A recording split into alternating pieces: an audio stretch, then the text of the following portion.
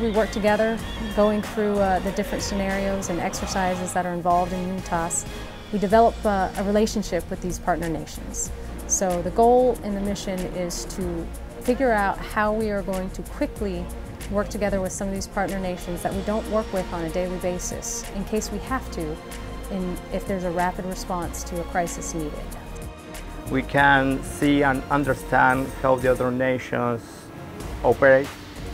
That allow us to improve the integrated We combine our capabilities together, sharpen our tools and knives, and so we're ready to bring the fight to anywhere it needs to be. We've had a lot of opportunities for distinguished visitors on this deployment specifically and being able to say uh, what each of the sailors are doing and going around to each of the departments because each one of our departments are what's making this ship uh, make the mission work.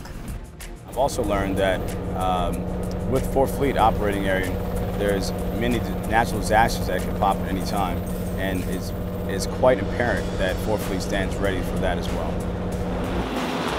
The best part of UNITAS for myself is meet with uh, people from different countries and learning how we work together.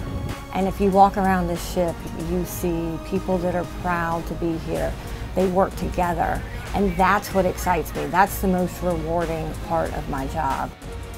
It's very important for the United States of America to continue its uh, strengthening ties with uh, Fourth Fleet and all of our South American uh, allied forces. When we work together, there stands no chance. The enemies have no chance at all.